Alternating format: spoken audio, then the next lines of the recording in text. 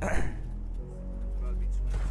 this dude has to be like one of the best editors, and like that's like including keyboard as well. Like not even just controller. Like everyone knows he's the best controller editor. Like besides controller, like, he's like one of the best editors.